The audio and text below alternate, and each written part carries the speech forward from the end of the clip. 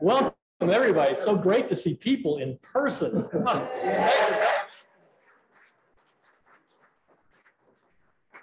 we have a little bit of business to transact before we uh, welcome our speaker. So next slide, please.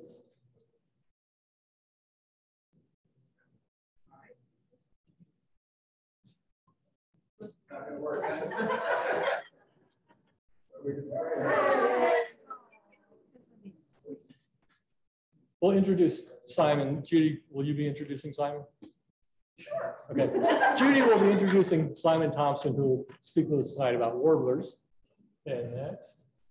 Uh, this April, in about six or seven weeks, our chapter is hosting the North Carolina Audubon Summit. We'll have people coming from chapters from all over the state and staying in Charlotte.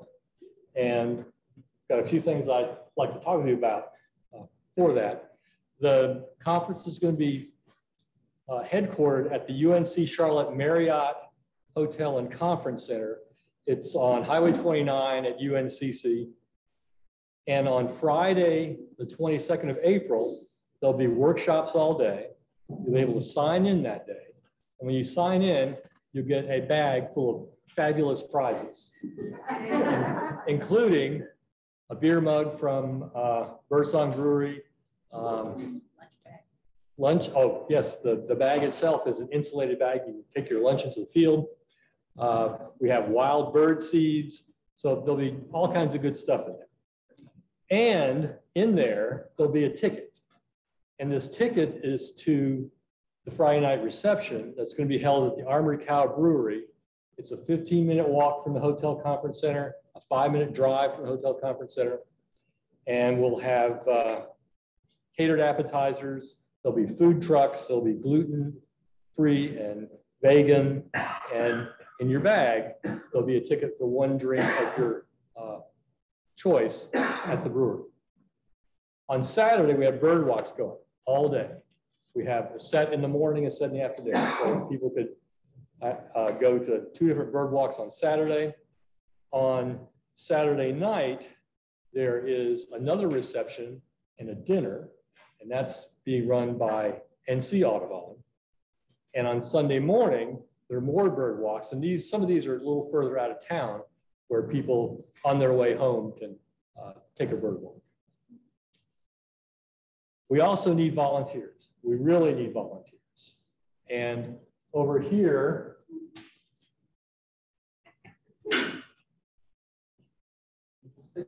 scan this QR code and get into an app that will allow you to sign and volunteer. You can sign up for specific what? Camera. Camera. you can sign up for specific jobs at the uh, at the summit with this. You can also sign up from our webpage, right? By tomorrow. By tomorrow. Not that. And we need people to work the registration slash information table to help with field trips so the field trip leader can concentrate on the birds and those people will concentrate on the logistics of getting people where they need to be. We need hosts to circulate on for Friday night at the reception and just generally have people around the hotel to take care of problems as they arise. So, and the registration, not to volunteer, but registration for the summit itself is now up and running, right? So next month, April 22nd, 23rd, 24th. Okay. okay, next slide. Here's some photos. Uh, Richard, you want to talk about this one? Um, Idle sent out an email, uh, way,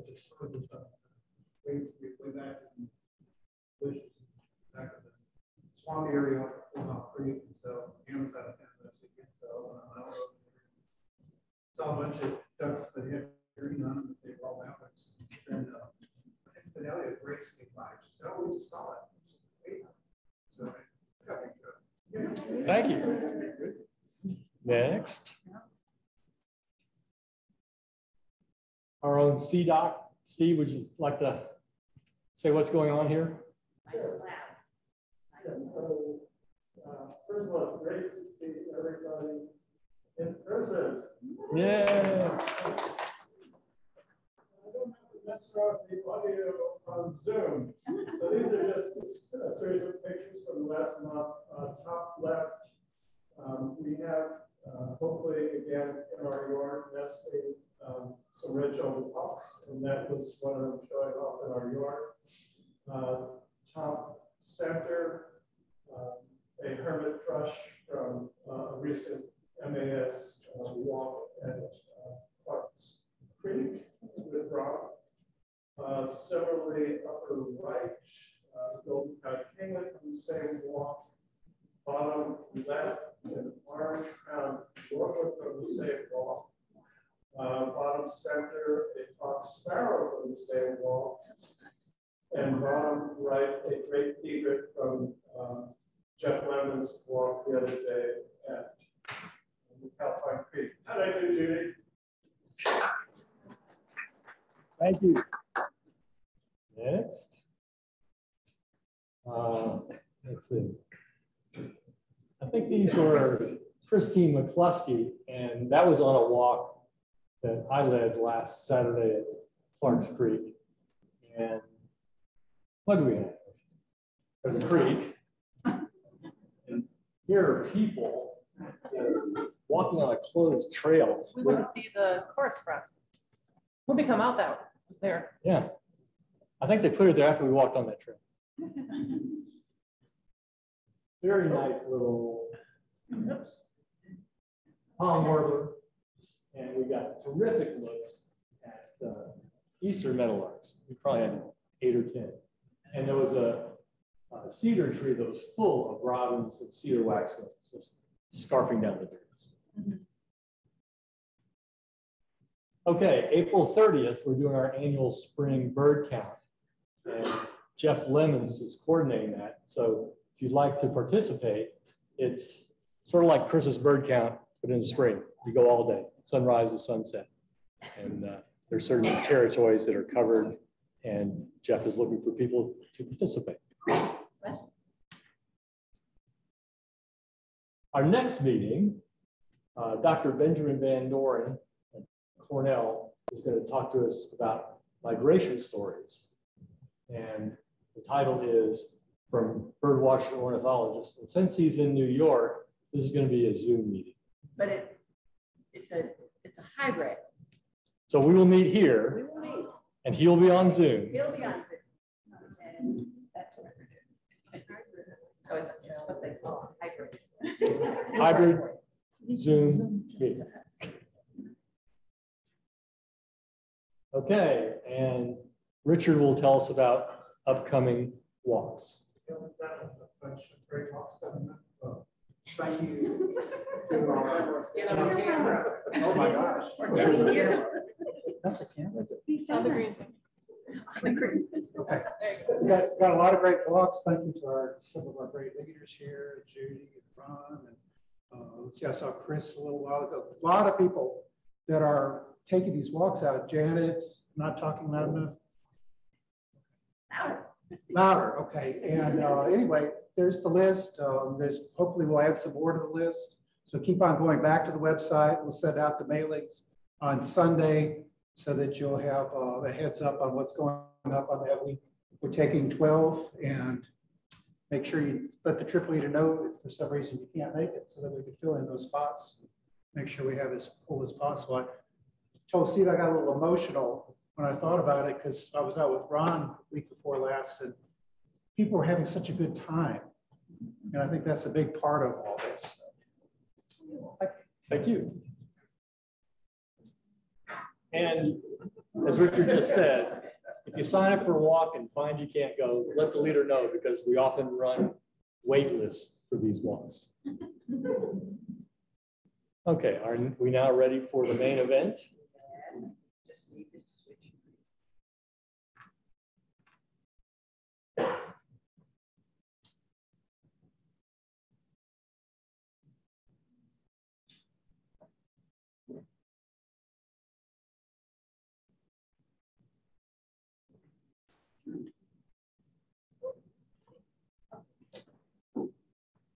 Judy,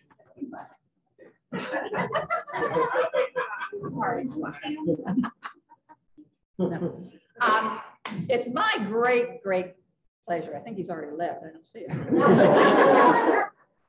He's already run, run for me. It's my great pleasure to uh, introduce Simon Thompson, who I have known since mm, uh, for many, many years, at least well back into the 90s. Um, we birded as youngin together, I guess is what they want to call us. Um, he is the uh, sole proprietor of the Ventures Birding, uh, which is out of, Char- out of um, Asheville. There are a number of people here that have been on his, on his trips. The man is an encyclopedia, and you can take him probably just about any world, anywhere in the world, and he'll be able to bird and be able to tell you what you're hearing. It is amazing. Uh, I've been to Ecuador with him. I've been all over the place with him. And, you know, I don't know how he remembers, you know, all these birds. But anyway, but he's here today to talk about um, warblers, which most of us say, it's spring, we get excited about them, but we also dread them because they're so hard. And he has left. He did leave. he didn't have to. Did I break you up? um, you're going to need to speak clearly and loud and try to say in this general vicinity. Okay?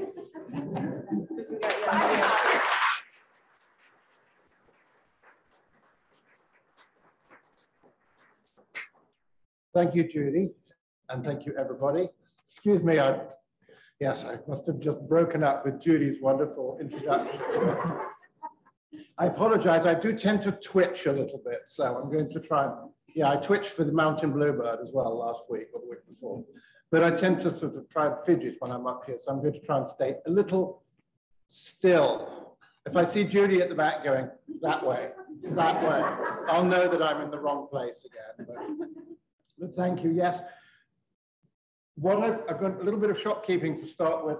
On the table here, you might like to pass this around. I'm going to do some bribery. I've got a couple of gift certificates to give away.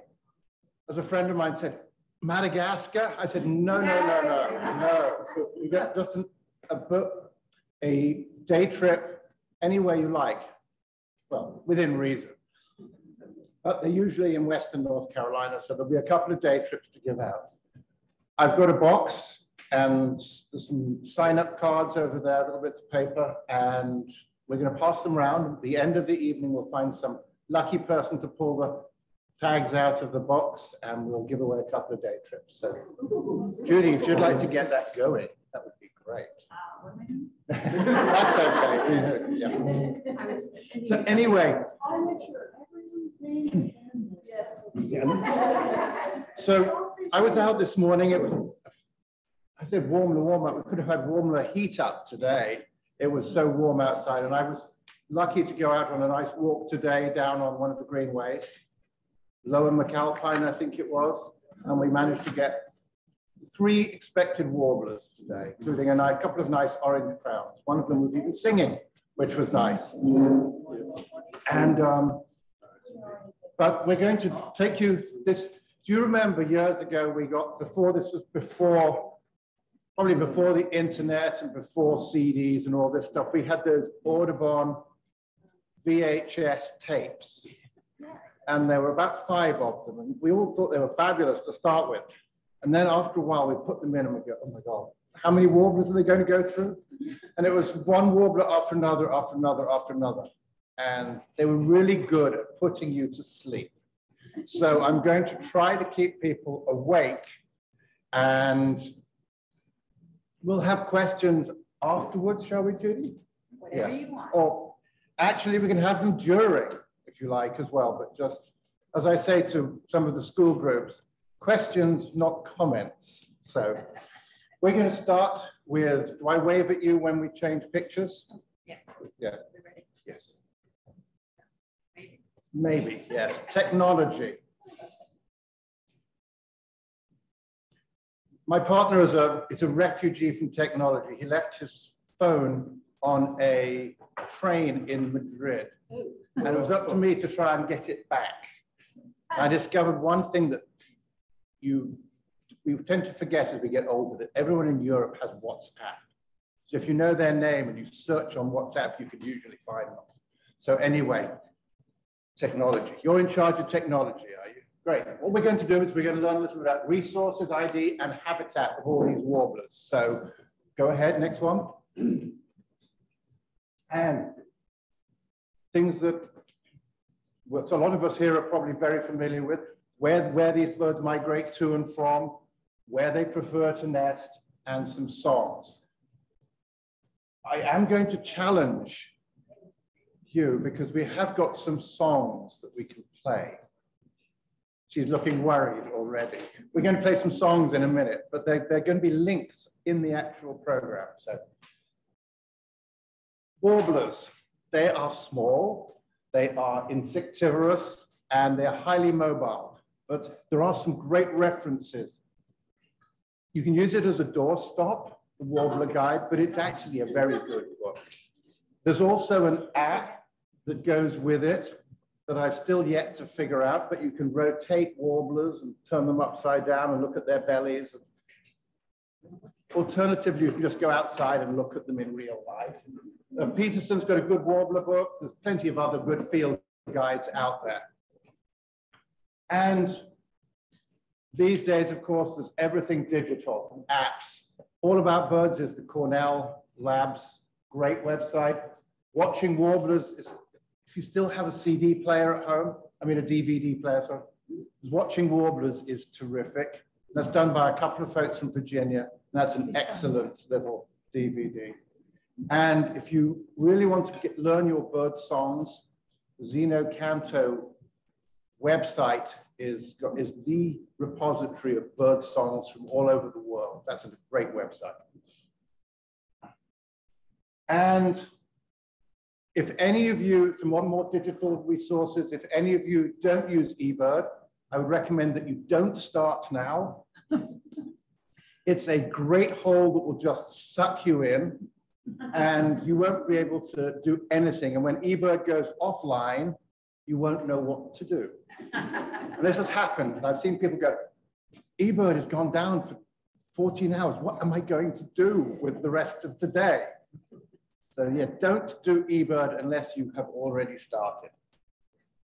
My partner says to me, says, do you do anything else but eBird? And I go, is there anything else to do but eBird? So there are plenty of other apps. Merlin is a great thing from Cornell as well for ID. I did use it the other day as a titmouse outside my window that was going. I held Merlin and it said great horned owl. so don't rely on these 100%. So, and um, it, technology and technology hasn't caught up with, I think, the human ear and our ability to identify birds. So let's get on with warblers. So what are warblers? people often will say, I'll ask them what a warbler is, and they'll say some really infuriating little bird that I really don't want to see. So you can have that opinion, but they are. In, in the UK, I saw my first wood warbler actually in England, where they're not supposed to occur. I saw an American redstart in England. He had flown across the Atlantic, or probably more likely sat on a boat and gone across the Atlantic. And then a few days later, I saw a northern Parula warbler in England. So, and I think I haven't seen any others. I saw a red-eyed vireo, a pectoral sandpiper, so a few other um, American birds. We call them all Yanks. So we go up to the west of England and we look for Yanks. And those are, of course, all the American birds across the Atlantic. So warblers, we call them the gems of North American bird life. They're small, they're brightly colored. There are quite a lot of them. We've got about 50, almost 60 species in this country. This is a friend of mine's program, Kevin, who works for me and does amazing trips. He had a thing that said, warblers known for their bright colors and beautiful songs. And I took out the word beautiful and put varied because beautiful A black and white warbler doesn't have a beautiful song. It sounds like a wheelbarrow that's got a squeak in it. American warblers are beautiful, no doubt, most of them anyway. Orange crowns are kind of a bit blah, but and they, but they really can't sing. European warblers are really dull, but they can sing. And some of them have fantastic songs, but they all look the same. So the song is the only way to tell them apart. So the next one, Judy. We have about 40 species, and I'm sure several of you in this room have seen all 40 species in North Carolina. I think all 40 species have actually been recorded in Jackson Park in Hendersonville, which is pretty darn good place to go in the fall. We have about 23 regularly occurring in Western Carolina. As I said earlier, highly active, they don't sit still, and pretty well most of them are insectivorous.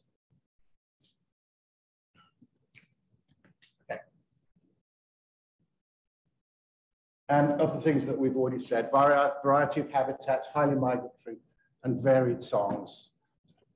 Okay. You'll know what that is on the right. Female redstart, yeah. So we're going to go through breeding birds and then we're going to go after that with some migrants and some winter birds. Let's go ahead. We're going to start by early arrivals. So Northern Parula. And there's a big blue one parked in John and Chris Hanna's driveway. And that's actually the license plate of my car, which is Parula. So I wanted a bird name that bird watchers would know, but the general public wouldn't. Which is kind of birding arrogance, I think. One-upmanship. So anyway, I, mine is Parula. So if you, so most people wouldn't know, know what it was, but um, the other, a couple of years ago, I was up at the, the um, biggest week in Ohio, the biggest birding week, and there was a car and its license plate was Warbler. I thought, ooh, I have to park next to that. So it was Parula Warbler in two cars, both Subarus, I do have to add. First, first one that we usually get in our, our spring arrivals will be the Northern Parula. And it's what we call a, it's not really a super tropical bird. It doesn't go a long way south. It tends to go sort of halfway. So if you went to Florida in the winter, you'd probably see one or two of them. If you went to Mexico, you'd see a lot. And then the Caribbean, a few. But if you went to South America, no, they don't really get that far. It's small, little white, light yellow fellow. White wing bars are usually pretty obvious. And there's a young one on the right and it's one of the smallest of the warblers. They nest in Spanish moss, often high in white pine trees up in the mountains or in sycamores. And their song, which is going to be on the next one, a friend of mine calls it the zipper bird because it goes zip. And see if this works.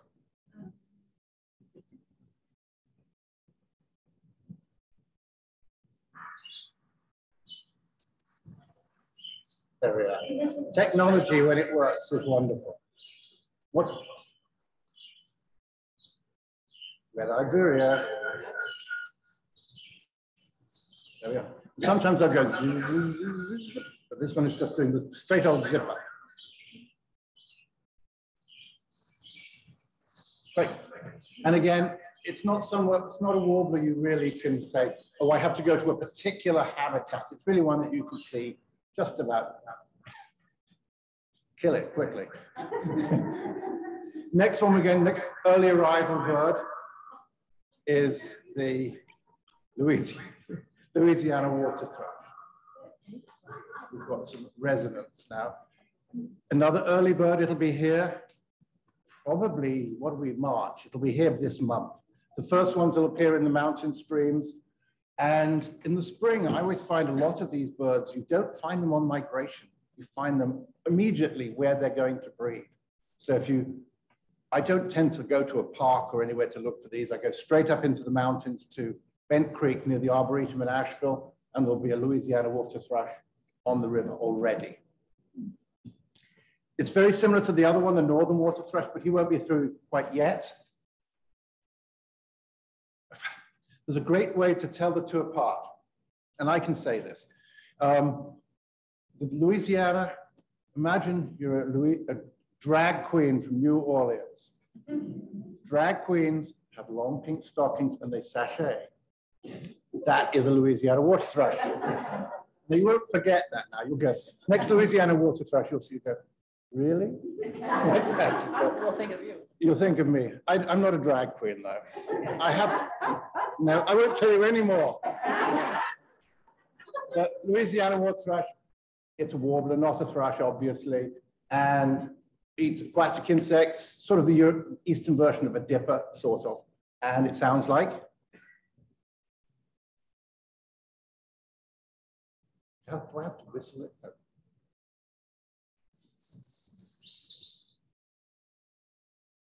One more time.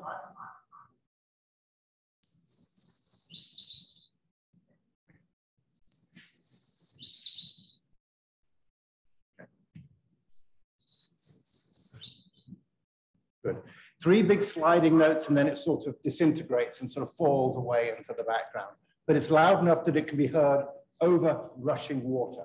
So that's he'll be. So first we get at Parula, and then in a, probably by a couple of weeks' time, the first water thrush will be in. Similar to um, other species, the northern water thrush, which tends to be a little bit more sedate. It's not quite as flamboyant as Louisiana. It's just a little bit, it's a northerner, they're not as flamboyant. and um, again, when we see the northern in a few minutes, we'll be able to see it's a little, little more sedate. Another one that'll arrive within the next few weeks is probably my favorite of the lot. This is yellow-throated, not to be confused with the yellow throat, which is another warbler, but completely different. Again, doesn't go all the way south. Um, I was in Panama a few years ago and I said to the local guide, oh, there's a yellow-throated warbler up in that tree. And he said, oh, where? I've never seen one. So they don't usually get as far as Panama. That's just a little bit too far. But uh, again, it's a Spanish moss bird. Up in the mountains, white pines, again, like the Peru, they're, they're often in the same habitats. And it has a very long bill. I'm not, obviously, for its habit, for its food. It tends to find food maybe amongst pine needles, amongst the, the Spanish moss, but it's a very long-billed bird.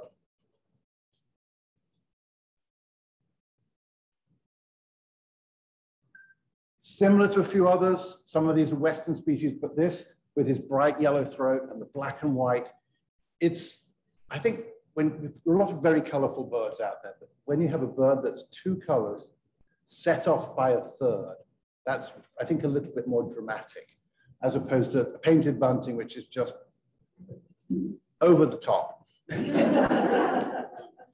the yellow-throated sounds like, I think we've got him on the next picture. Maybe we didn't, did we? Oh, there's the yellow-throated. Those little things hide, don't they?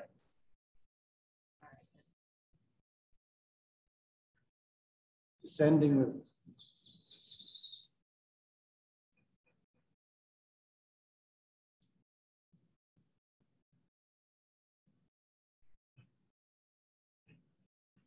Sounds like frogs.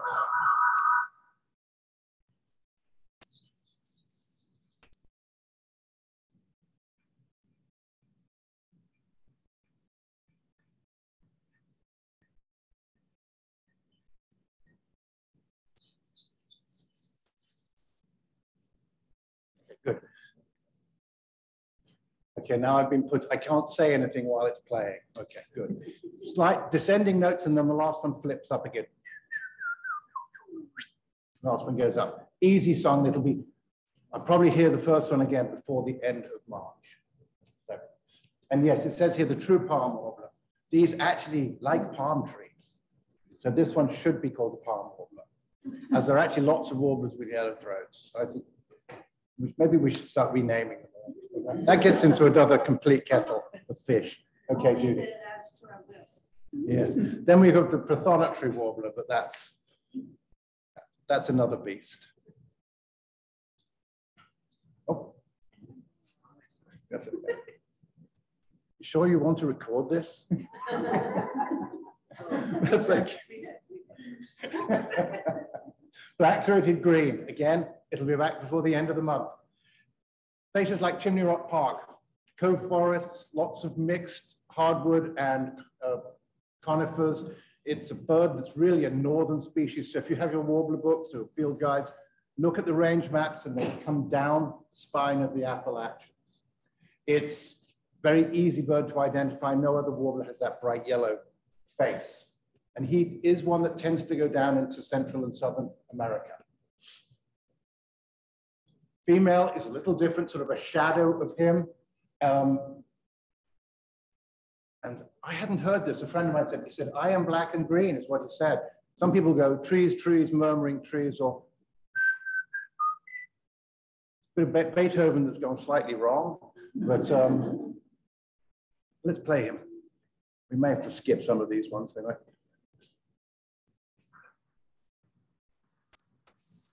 That's it. When,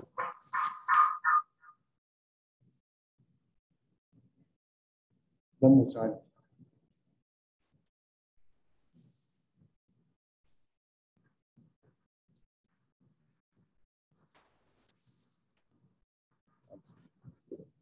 That one sort of has a different version.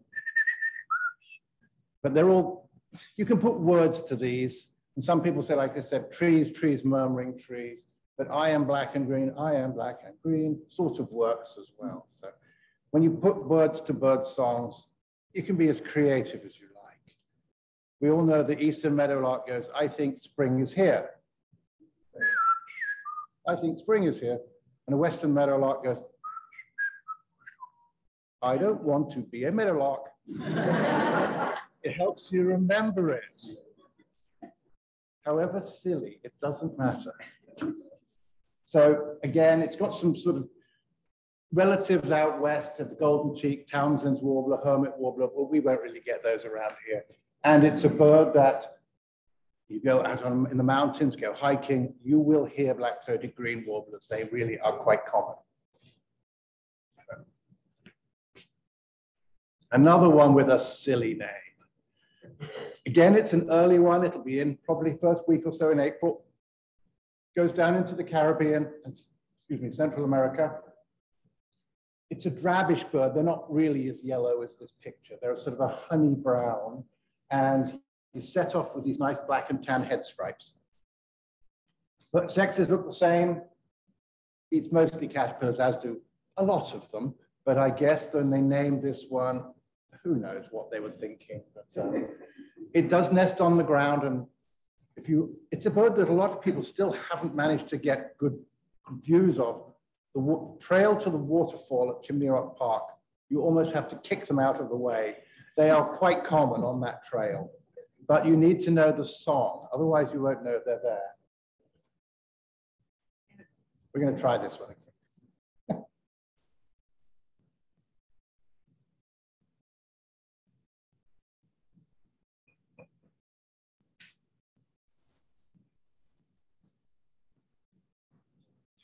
It sounds like sounds like a worm eating worm eating warbler sounds like a junco, sounds like a swamp sparrow, sounds like a chipping sparrow, pine warbler. All of these things trill, but they're all found usually in different habitats. So that's often a clue is if you think it's a pine warbler and surrounded by pine trees, it's pretty likely to be a pine warbler. It could, if it's a swamp sparrow, it would probably be in a wet habitat. And Worm-eating warblers like rocky slopes with deciduous vegetation. So you won't find one in a swamp singing. It will be a swamp sparrow. Habitat for a lot of these birds, especially when they're on territory, is pretty important. Okay. Ah. Another one that'll be, it's early, before the end of April, actually probably a couple before the end of March. One that we're all familiar with, black and white. So, what's that? I said some never left. So, really? You have more winter? Yeah, we actually had a yellow book. Wow. Yeah. I think we're going to start seeing a lot more of this stuff happening in the next few years. But um, a black and white warbler turned up in England once. Turned up in Norfolk in the east of England, one January day. I bet that person was surprised. But um, it, people still to this day go and put offerings at the base of the tree. I miss the black and white warbler. Will one ever come back? Probably not. But um, this little stripy fellow goes up and down the tree trunks like a little mini nuthatch or woodpecker. And winters, you, as some around here, I saw some in Florida in, in the winter. And this is the one with the squeaky wheel sound that I don't think you could describe as beautiful.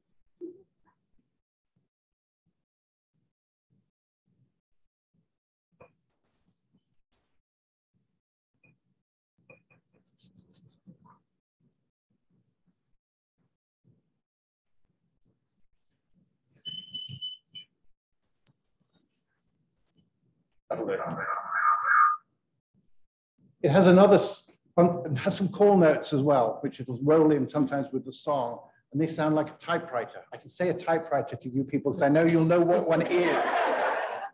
I say this to somebody recently and they looked at me blankly. Oh, yeah. You're under 30, you don't know what a typewriter is. So it makes this tick, tick, tick, tick, tick, tick, tick, tick, tick, tick, tick sound. Well, I'm somebody who's good at typing, not me. Um, so these are some of the early arrivals that are going to be coming through within the next probably month. And after that, we'll get common yellow throat. Had one of those all winter or not? Sometimes, sometimes. I had one in Asheville last winter that was hanging around up there. And unlike the yellow-throated, which we saw a few minutes ago, yellow-throat has this little black bandito mask. And tends to be a bird of low, wet, brushy thickets. And it is common. And you hear them. Sometimes they can be annoying to, to get out, but um, with a bit of encouragement, squeak at them a little bit. They often will, the male will pop up or maybe work his way up a branch to come and sing and then look at you. And the female is, which I think is the next slide, looks a little bit, she's a little bit, that might even be a young male actually with a slightly dusky face. But um, this is the one that does the classic witchetty, witchetty, witchetty, witchetty, witchetty song, which we're going to try.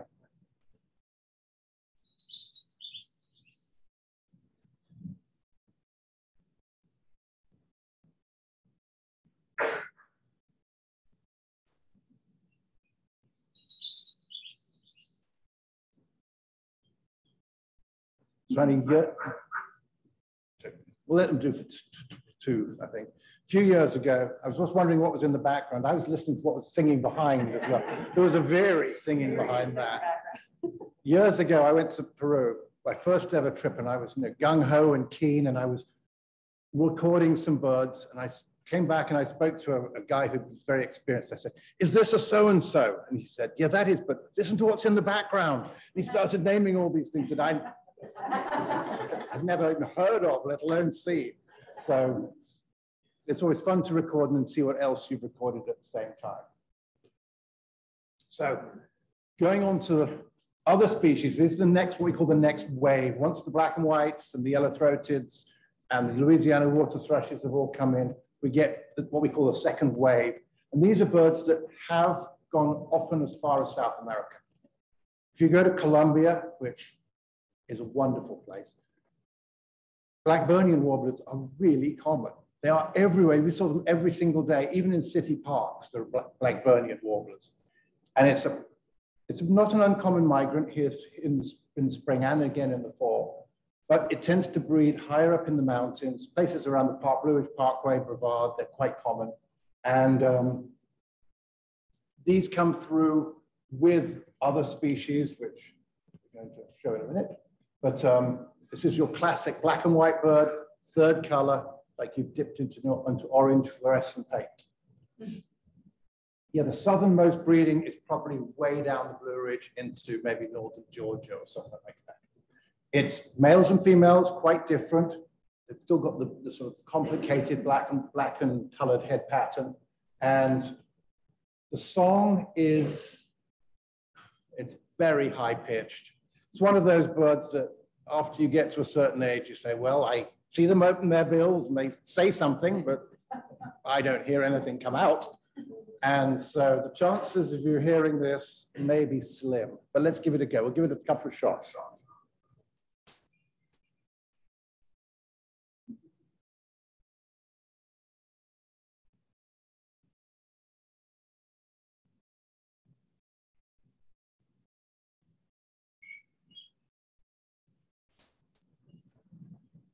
Okay.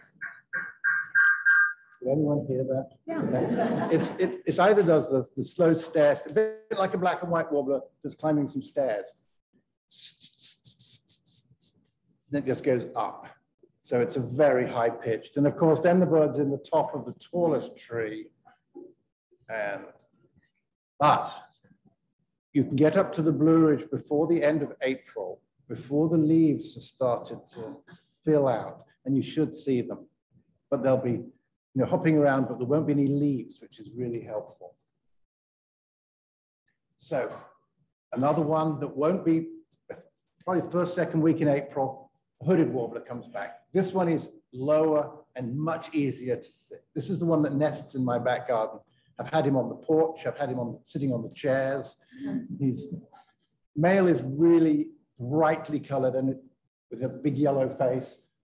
He goes really as far as Central America. Female looks a little bit of a sh- like shadow of him, but they've got this white tail, white tail feathers that they flash like this all the time. So it's often a bird of sort of thick understory and song again, see. I want to rent, rent a video. Of course, videos now are completely obsolete. So like typewriters, we're gonna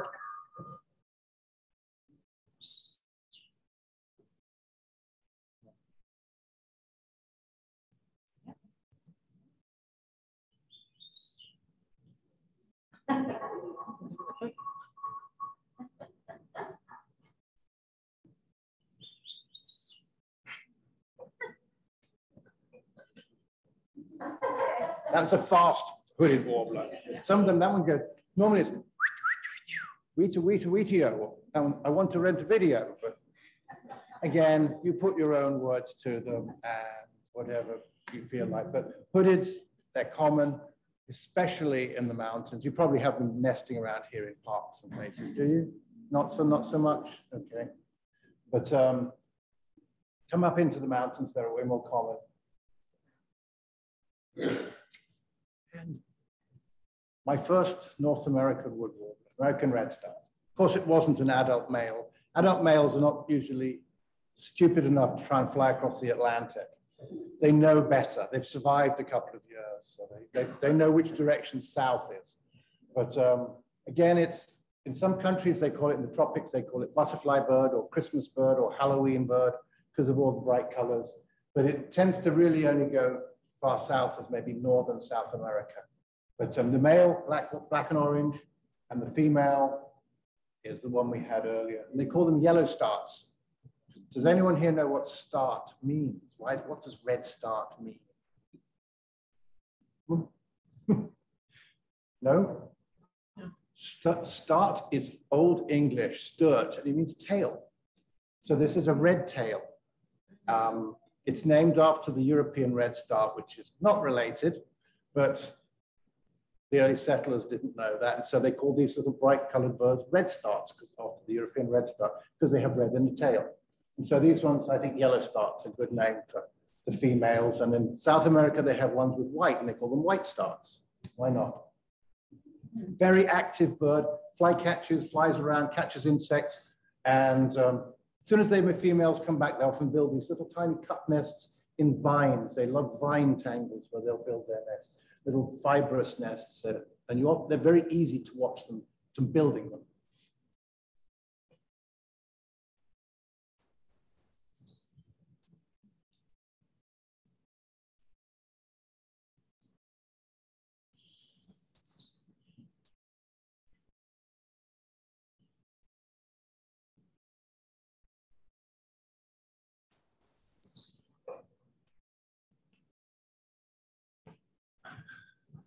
Again, something old fashioned. I've got some LPs. I've got an LP of sound, songs of North American warblers. One whole side is American Red Start. I think 15 different versions of American Red Start. And they all basically are lots of little sip notes and then, or without, sometimes with the emphatic ending, sometimes without. But it's quite variable, but essentially it's a bit like a fast black and white not quite as high pitched as a Blackburnian, somewhere there in the middle.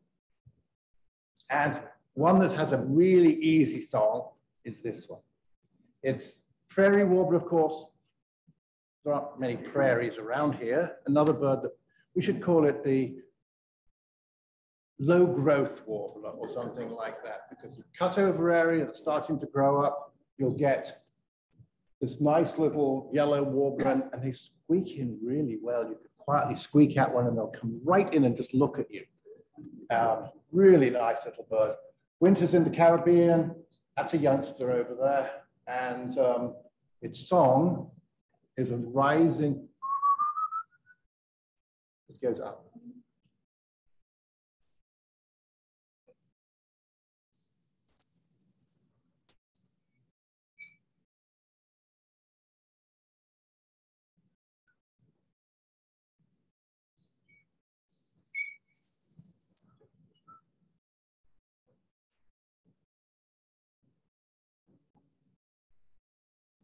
That's okay. I'm trying to not talk over the end of it. But it's again, it's a really easy song. Again, it could be too high for some of us if we to lose that high register for us by hearing, but that or the sometimes they'll slur it together. But again, it's one that'll arrive by the mid, mid to late April and then disappear. Maybe some winter along the coast and some will go maybe into as far as northern Central America, but not too much further south than that. There's another. And one that, if anyone's been to Ohio and been to anywhere around the lakes, the yellow warbler, after a while you go, oh God, it's another yellow warbler. I mean, they are really common and they are cute. But, you know, after a while I say, yes, it's another yellow warbler, but it's the one that's supposed to say, sweet, sweet, I'm so sweet. And after the 15th, you go, yes, you may be sweet, but go somewhere else and be sweet. but again, it's a common bird. It's not so common around us here in the, in the southern mountains. And but on migration, they'll come through and occasionally even one, one overwintered in Asheville this year and was coming to a suet feeder all winter, which is really bizarre. But um, it's really widespread some even on the Galapagos Islands. So that shows that a lot of them must have ended up there to eventually establish a population. And female, the song is, is buzzy, and this is the one that goes, sweet, sweet, sweet, I'm so sweet. Well, sort of, anyway. Try that one. That one.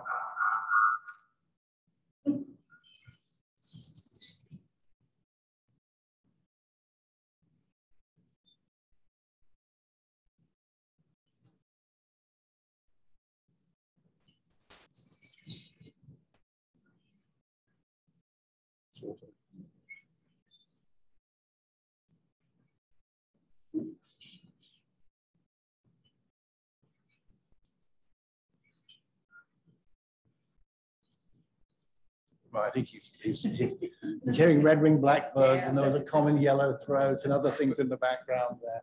But um, I, I've read that the yellow warbler, a lot of these small birds get parasitized by brown-headed cowbirds.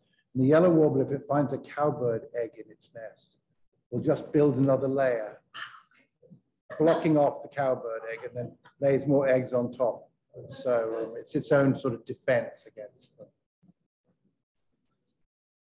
And that's one of the, the what they call the mangrove race of red yellow warbler, which has an orange head. There are other ones that have orange caps, so it's really quite a variable little bird. Mangrove, yes. Kentucky, another one that's arrived back in around about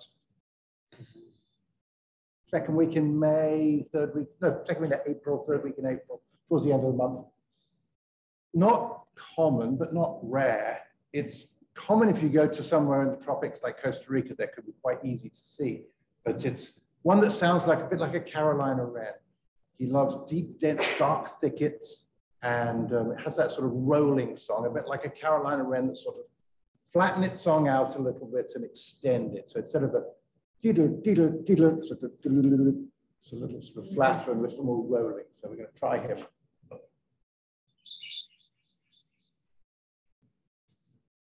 Yeah.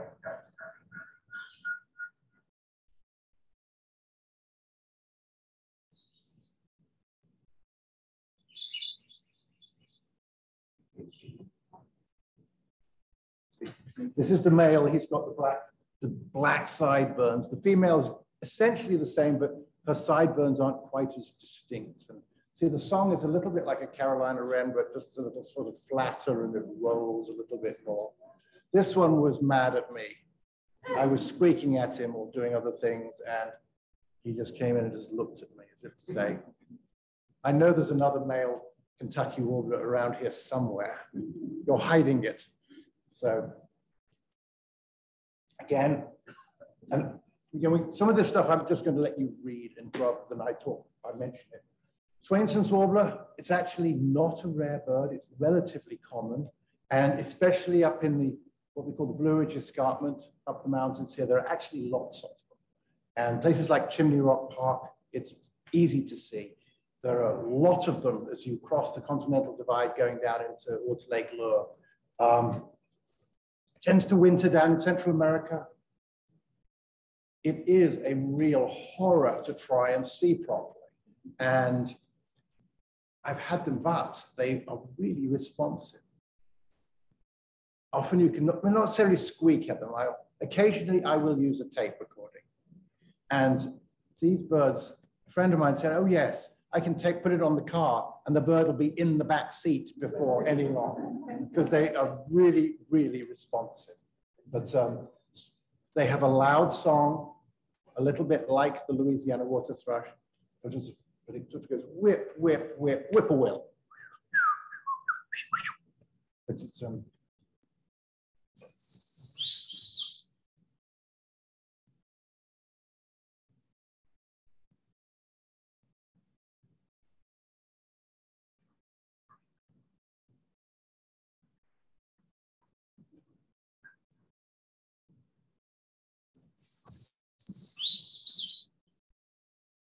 see loud sliding notes, and you'll hear 10 and maybe see one, or maybe see, hear 20 and maybe see one. It's difficult to see, but it's, you know, give it some effort and sometimes you'll end up, it's a sort of a yellowy brownish warbler. It's big and has a really distinctive heavy chip note as well. We're not going to talk about chip notes. That's, I'll get Ron to give you a program on warbler chip notes. Ovenbirds have strong chip notes as well, but it's another warbler, of course, despite its silly name.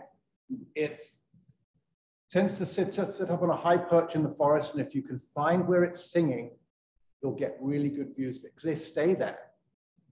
Once it drops to the forest floor, you're lost. You won't find it. It'll disappear amongst all the leaves and ferns and things. But it's, it's a bird that a friend of mine said it's designed by committee. It's this big white eye ring, these big pink legs, and this crazy crest that it can raise and lower. And it's got these big pink chicken-like legs. So it's kind of just an oddball. But it is, it's unfortunately ovenbirds, because they migrate at night, this is one of the birds that gets killed the most by windows and telecommunications towers. Not sure quite, maybe it's the elevation that they tend to fly.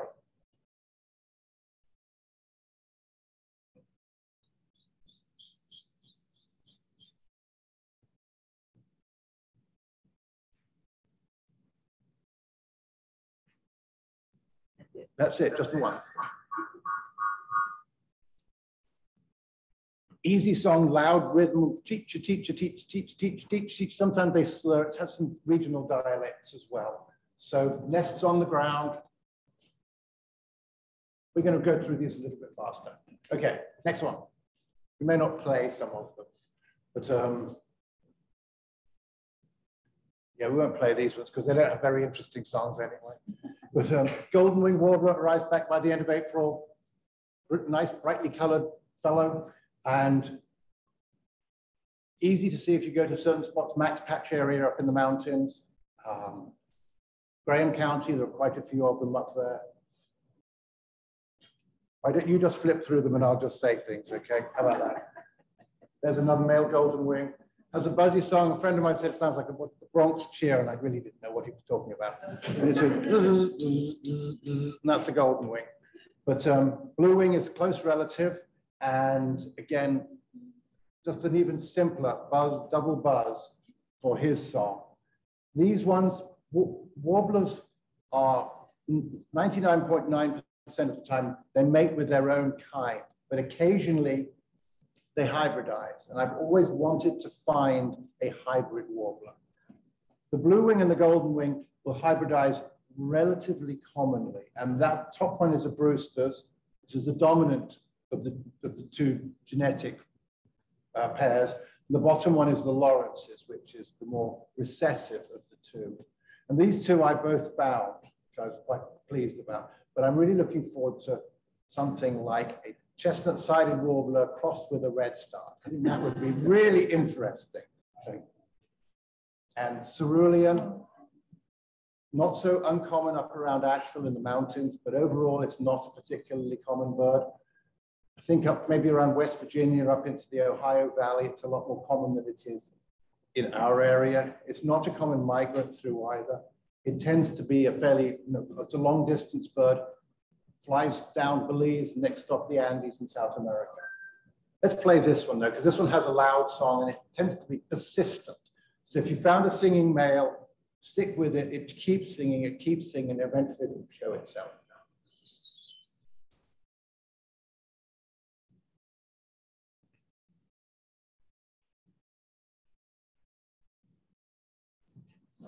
That's okay. so yes, the cerulean tends to make this buzz, buzz, buzz, buzz, buzz, buzz, So he tends to be loud, he tends to be persistent, so stick with him. That was the male. The female is a sort of a chartreusey, greeny color. This one was taking spider's webs out of that nest and then building, putting them in her nest, her own nest, not that couple nest. So that was taken up on the Blue Ridge. Another common bird up on the Blue Ridge and if you go to Jamaica or somewhere like that, Caribbean in the winter, the black-throated blue is a common one. And for some of us that like our ales, this is the beer, beer, beer, please. One.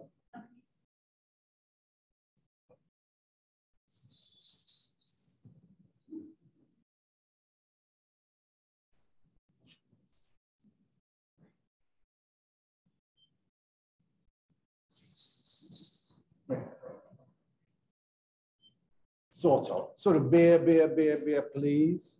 So you, again, you have to have a sense of imagination, or maybe you've had one of those beers to help you sort of learn these birds a little bit more.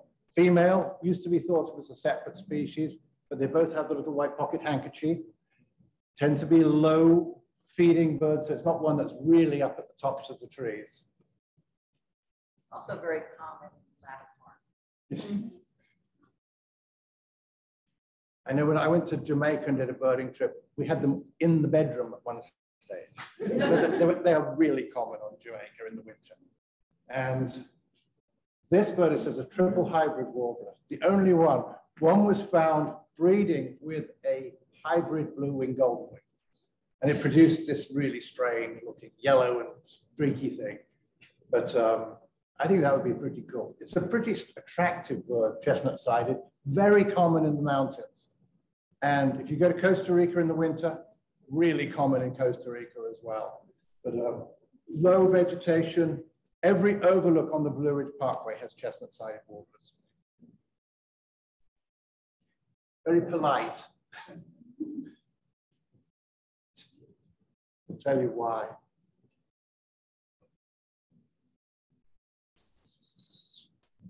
This one's a fast one.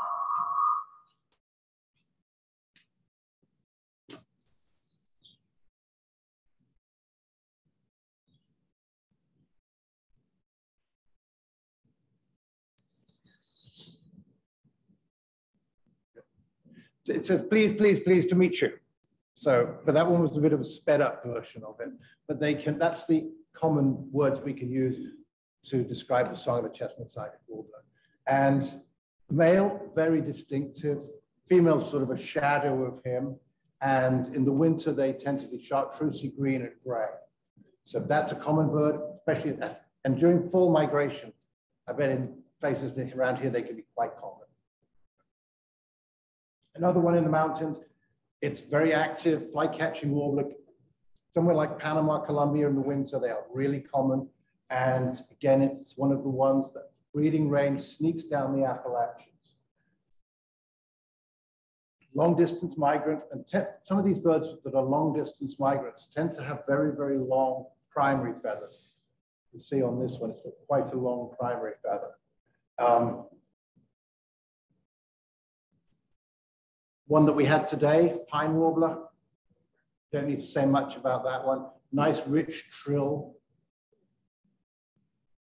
And the female quite drab overall, but still kind of a deliberate bird. It tends to work its way through the trees, preening, I mean, feeding and looking. Occasionally, they'll even eat suet and small seeds at the in the winter. Right now, yes. And a few that are passing through. These ones don't have any songs, so you don't have to. We're just going to flip through these ones quickly. Wilson's warbler, spring and fall, on its way down to Central America for the winter. Magnolia, another one of my favorites, with probably the song that I can never figure out. It sounds like a half a hooded warbler. And I remember with a group, I was with some folks once and I was standing at an overlook, there was one singing below us.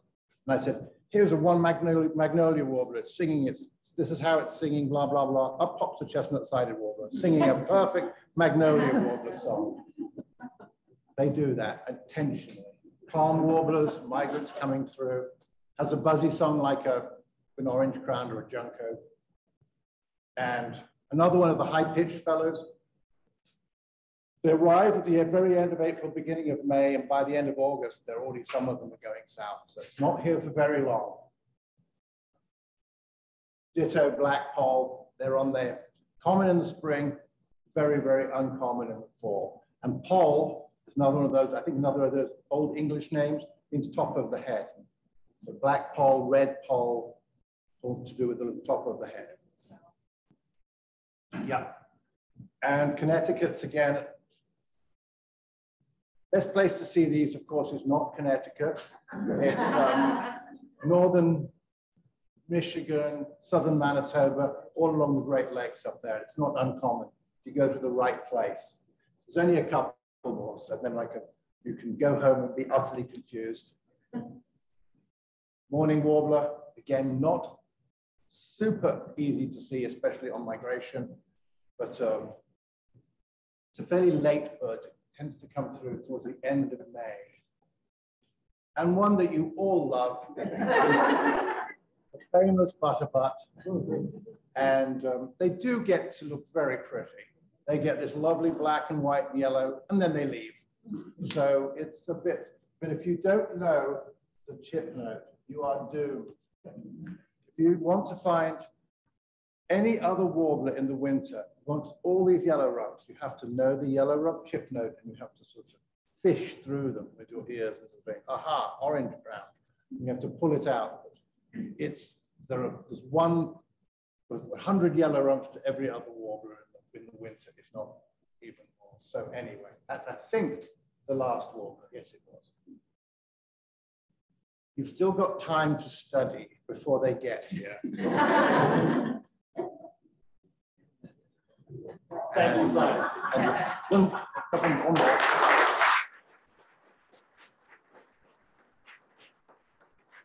One, there was another slide, but don't worry. It's okay. Can you go back to it, can you? I was just going to do a a shameless promotion. Of, well, thank you for my photographers. Alan comes on trips and he takes all these fantastic photos and then, then lets me use all of them. So, and uh, Kevin put the program together, so I have to thank him doing all the work.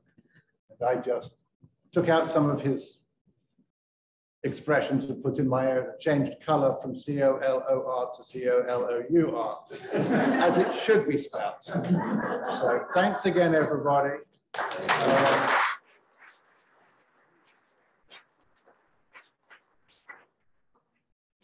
I think we have time for a couple of questions. And while you're getting questions, we'll get the box and we'll pull out a, a couple of winners for a gift certificate. Oh, any more names still need to go in the hat? Has anybody got any questions? Or are you completely, um, I could have gone on for another hour, but, uh, yeah, yes, Jackson Park, all forty have been seen there, like in a season or just? at- over the years, yes. Oh, The, there's a warbler, there's a trail in Jack, Jackson Park, if you don't know, is in Hendersonville. It's a city park. It's got some, lots of really good habitats. There's a walk the second Saturday of every month. There's a trail called the Warbler Trail because I was birding with a friend one day and we had 26 species in one morning on that trail. And the name stuck, which is, but normally you don't get 26 in a, in a morning. And I've, that was, gosh, that was back in, oh, that was a while ago. And I've challenged all these young whippersnapper birders out there. See if you guys can get more than 26. And no one's done it yet. Yes, nothing wrong with a good challenge. So, okay, here's the box. On the table over here is also um, some calendar of, of trips. Also on the website, the Ventures Birding Tours website, is a link to all these bird walks that we've mentioned. Not the dates, but just where you can go to find out when they occur. So, uh, Is that what your business is, is, um, sign up for bird walks? I assume that. Oh, yeah, that, yeah. I should have given you a huge propaganda spiel at the beginning, but I didn't. No, I own a bird watching tour company. I started it, ooh, 20 years ago, and it's now completely and totally insane, in one word. The next eight trips are full. Uh, and it hasn't stopped. It's just, I put a trip up and within the next week, it's full. So it's just great. No complaints. Yes, sir. Question, um, before the voice that hard to see, what portion of all birds? Approximately 70% of the birds in our woodlands, I believe, are migratory. So that includes all your very, yeah. And then I'm going to pare it down to that. I'm just trying to think backwards. Um, gosh. 30%? That's in that 25%? It's a lot. And during migration, it'll be a lot of birds. So if you hit a good migration day, it can be completely mad with, with the numbers of individuals, especially in the fall. The spring is not really as impressive because the birds are on their way to breed. But in the fall, when they're slowly drifting south, I've seen a good day with 50 redstarts, 100 magnolia warblers, all in one place. So, and they will be vastly the majority of the birds that are moving will be the warblers. Okay, I need a victim. How about you, Sharon?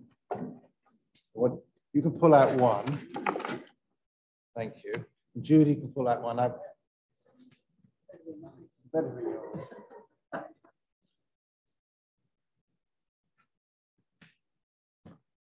I'll put my glasses on. There's a green bag at the end of the table there that has, no, my glasses are in here, but there's a, in that green bag are two gift certificates. I didn't put them on the table because I didn't want somebody to steal them.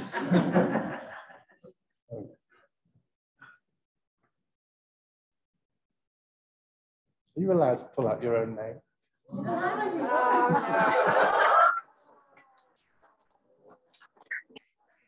Judy, I'm going to give you one anyway, but I'm going to keep that for later.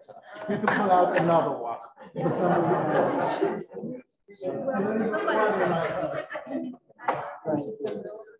Okay, well, I know one person, I don't know the other person. So, okay, this is, for this one is for, oh, camera, camera, camera.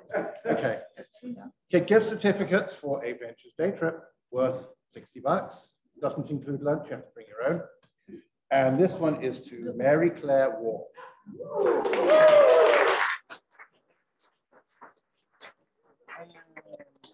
The other one is to somebody who's been on a trip before. This is to Jack. Where's Jack? Jack Meckler. There we.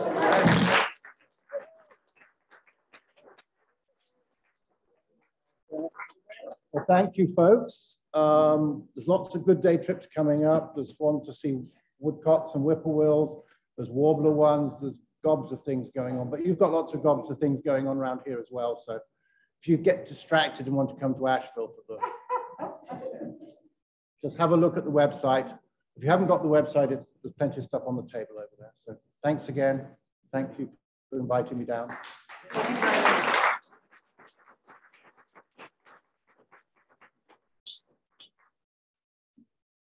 All yours. Thanks. We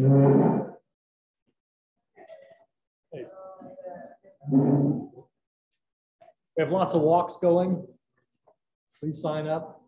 Please volunteer for the summit. We need lots of people. And you can scan that QR code tonight. I'll get you right to it.